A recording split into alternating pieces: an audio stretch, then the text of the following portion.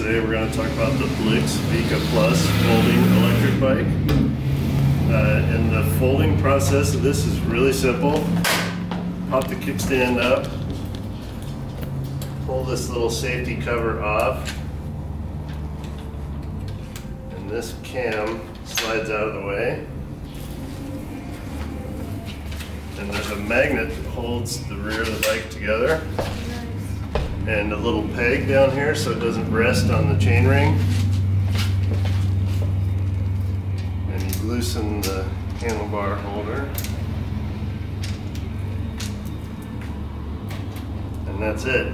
So it folds up pretty small.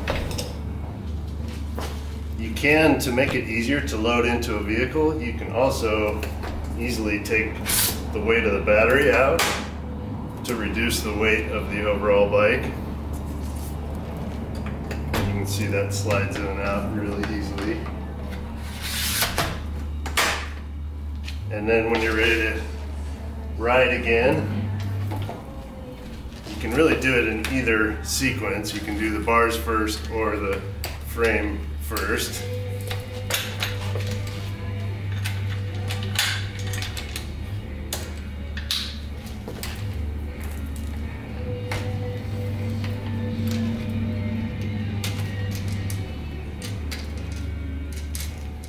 That's all there is to it. It's ready to ride.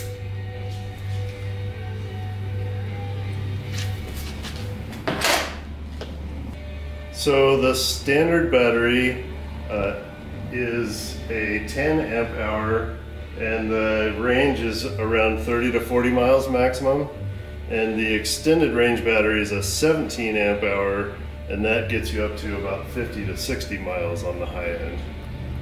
It's a 250 watt hub motor, uh, a seven speed Shimano drivetrain for the mechanical side.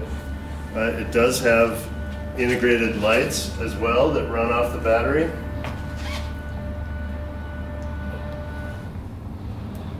So you don't need to worry about battery operated lights, both front and rear. Those are run off the battery. So Nice.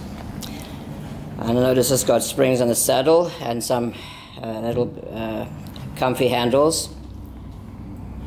So yeah, and it's I think another reason that this bike sells really well for us is it's a lot more stylish than a lot of the other e-bikes out there.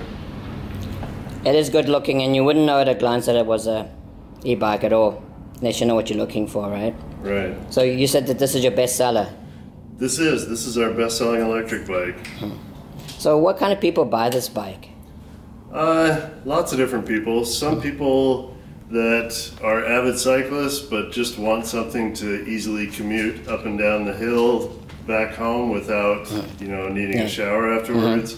Yeah. Um, other people that have perhaps an injury or a disability that prevents them from riding a regular bike. Now they can get on one of these and they can ride like they used to, which Yeah. is great. Alrighty, that's really great. Thanks for thanks for telling us about this bike.